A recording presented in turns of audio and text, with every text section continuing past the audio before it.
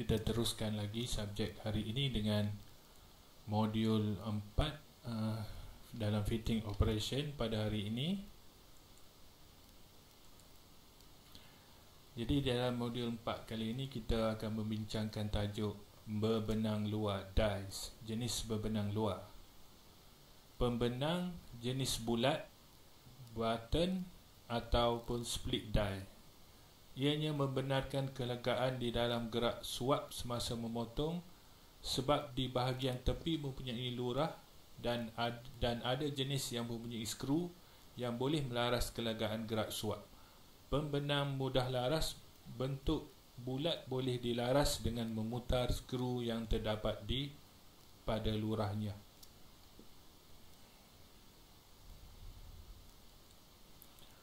Kemudian kita terus kepada berbenang luar. Jenis benang luar. Pembenang bentuk empat segi half die. Pembenang ini hanya mempunyai dua bahagian mata pemotong dan digunakan untuk memotong benang yang halus. Pasangan pembenang luar mesti digunakan sekali dan dipasang pada tonggak yang dihaskan. Jadi kita kita tengok pembenang bentuk empat segi. Membenang luar die jenis pembenang luar. Pembenang luar nut. Ia digunakan untuk membetulkan benang yang rosak sahaja. Pembenang jenis ini digunakan untuk memotong benang baru. Ianya diputar dengan spana tonggak pembenang luar. Tonggak ialah alat yang digunakan untuk memegang pembenang luar semasa kita memotong pembenang luar dan diperbuat dari bahan keluli lembut. Ada dua jenis tonggak iaitu tonggak bentuk bulat dan tonggak empat segi untuk memegang pembenang bentuk empat segi.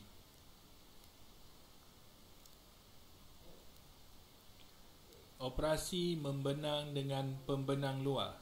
Memotong pembenang hendaklah mengikut arah jam untuk berbenang yang baik dan elok langkah-langkah dibuat di bawah hendaklah diikuti. Yang pertama, benang benda kerja yang hendak dipotong mesti diikat dengan kemas dan 90% dengan ragum. Dan yang kedua, hujung bahagian yang hendak dipotong berbenang hendaklah ditirus supaya memudahkan pembenang luar masuk. Hendaklah berhati-hati mula berbenang supaya benang yang dihasilkan tidak sengit. Gunakan minyak pemotong semasa membenang. Membenang hendaklah dicuci selalu. Setiap tiga atau pusingan hendaklah berpatah balik satu setengah pusingan untuk pemotong serpihan. Bermenang dan minyak pelincir. Jenis logam dan jenis minyak pelincir yang sesuai. Biasanya logam jenis besi tuang eh, Minyak pelincir jenis kering. Kemudian besi tempawan light oil Keluli light oil Tembaga merah light oil Ataupun kering Tembaga kuning dalam bentuk kering Aluminium minyak tanah atau terpetai kemudian babit metal dalam lard oil juga. Berbenang dan minyak pelincir sambungan. Seperti alat lain juga berbenang luar perlu menjalankan penjagaan yang, yang teliti untuk mengelakkan mata pemotong dari rosak. Jika berlaku kerosakan pada mata pemotongnya maka berbenang yang dihasilkan dari alat tersebut mungkin tidak memuaskan mutunya Pembenang luar hendaklah disapu. Bubuh minyak semasa dan selepas ia digunakan untuk mengelak ia dari berkarat. Pembenang luar hendaklah disimpan dalam kotak yang dihaskan. Langkah-langkah keselamatan semasa membenang luar. Langkah keselamatan Yang pertama Jika membuat sepasang skru dan nut, nut benang dalam dahulu semasa pembenang dalam tidak boleh dilaraskan seperti benang luar. Ha, jika membuat sepasang skru dan nut buat benang dalam dahulu sebab pembenang dalam tidak boleh dilaras seperti benang luar. Kesannya nut tidak dapat dipasang dengan baik, contohnya terlalu ketat. Jadi langkah yang keselamatan yang kedua, pastikan bebenang luar yang masuk ke dalam perangkuh dengan mantapnya. Bebenang akan condong. Kesan dia. Apabila bebenang luar, hujung batang hendaklah ditiruskan. Kesan dia susah untuk memulakan potongan dan hasil bebenang kurang elok. Yang keempat, pastikan permukaan bebenang luar tidak dipasang terbalik. Sukar untuk memulakan potongan. Kesan dia. Yang kelima, guna bebenang pemotong. Pemotong luar akan menjadi panas cepat tumpul, haus dan patah. Yang keenam, putar pemegang luar ke hadapan dan ke belakang. Kesan dia, sepihan tidak tersumbat. Yang ketujuh, apabila bebenang luar buat pemotongan kasar dahulu diikuti kali keduanya dan laraskan mata pembenang ke tahap maksimum. Kesan dia, sudahan tidak baik, kemungkinan saiz kecil atau pemasangan akan ketat.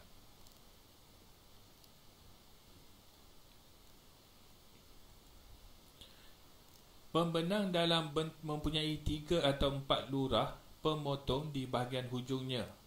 Lurah ini membentuk tepi pemotong di samping berfungsi sebagai lorong untuk tatar keluar dengan mudah dan juga lorong untuk pembenang pemotong turun ke tepi pemotong ia ia juga kursus untuk memotong benang dalam. Batang pemenang dalam bentuk lurus kepalanya berbentuk segi empat sama supaya boleh diputar dengan perengkuh. Saiz dan jenis benang ditanda pada bahagian batang. Pembenang dalam diperbuat daripada keluli berkarbon atau keluli tahan lasak yang dikeras dan dibaja ia terdiri daripada berbagai saiz dalam ukuran metrik dan inci. Jenis-jenis pembenang dalaman. Ini kita tengok jenis-jenis pembenang dalaman. Pembenang dibuat dibuat bergu dengan setiap set mengandungi tiga jenis pembenang. Yang pertama, pembenang dalam tirus. Pembenang dalam ini dapat dikenali dengan melihat satu garisan gelang saja yang terdapat pada batang ataupun dengan melihat tirus mata gigi pemotong.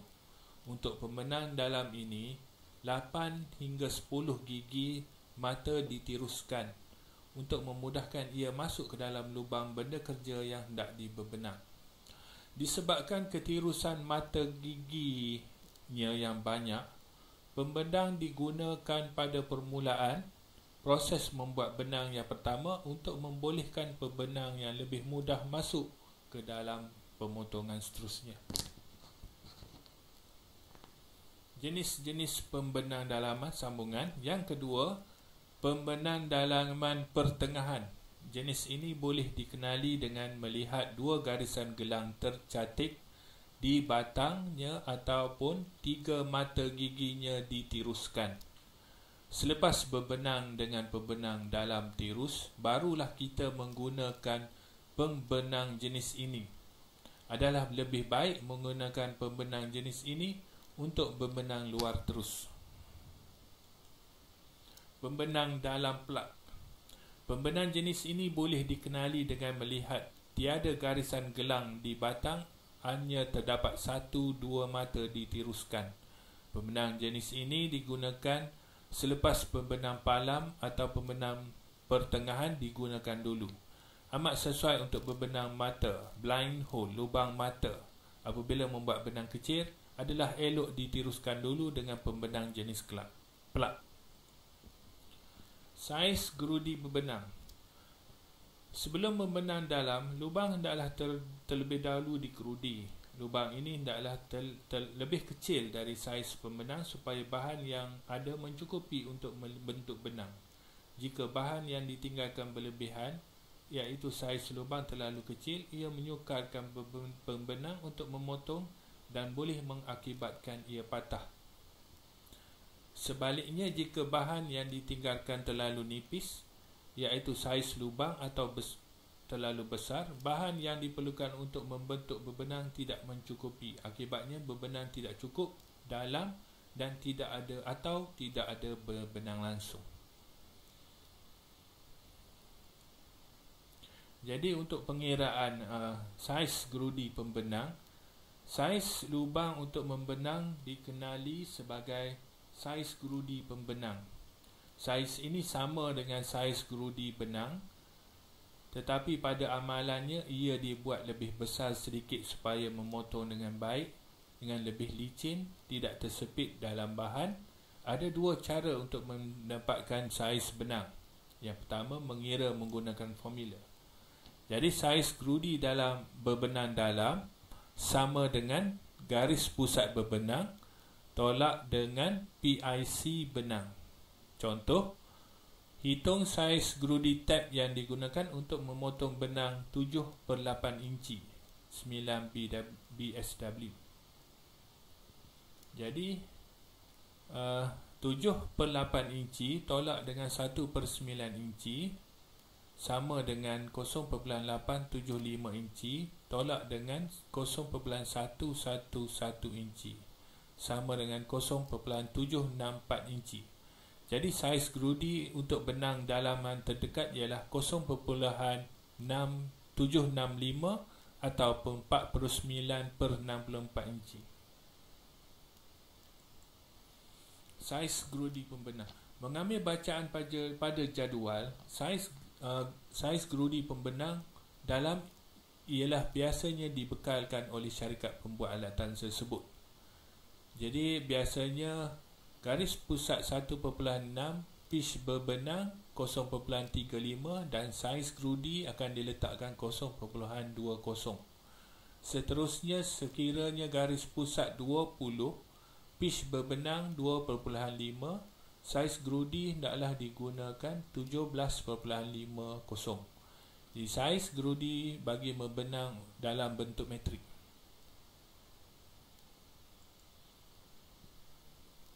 Mengambil bacaan pada tanda berbenang, tanda saiz yang terdapat pada batang berbenang ialah seperti berikut. Berbenang dalam metrik ditanda M4 kali 0.7 di mana M ialah benang metrik, 4 ialah garis pusat meja berbenang dan 0.7 ialah pitch uh, berbenang dalam mm. Jadi 7 per 8 inci tolak dengan 9 BSW di mana 7 per 8 inci bilangan berbenang dalam seinci bilangan berbenang dalam seinci BSW bermaksud British Standard Width Wash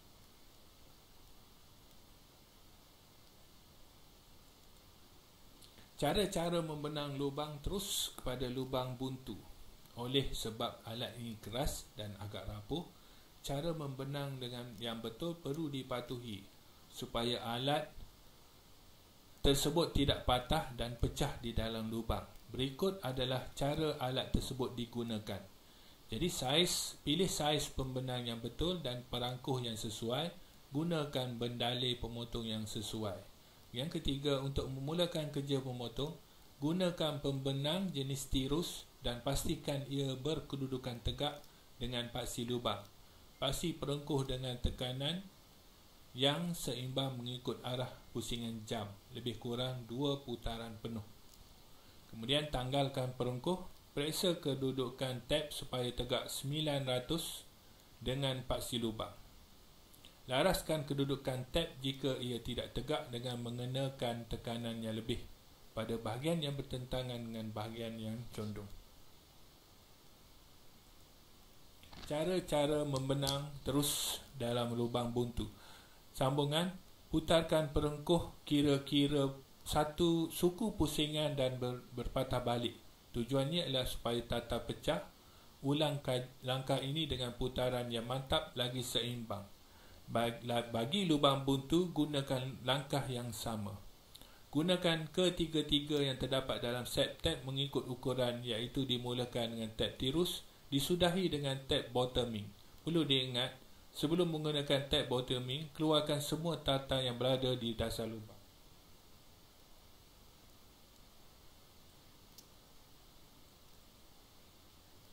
kita tonton satu video yang ditunjukkan.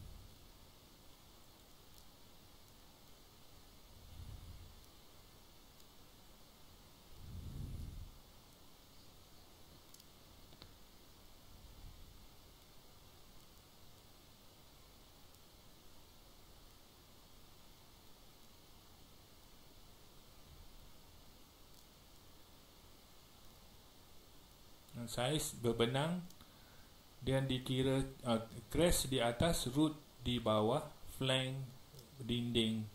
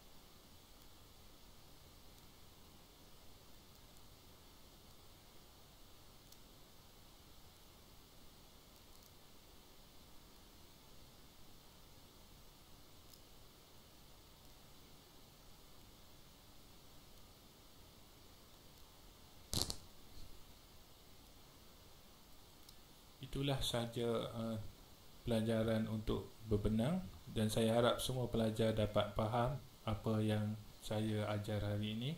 Semoga uh, terus kita ke uh, subjek uh, modul yang akan datang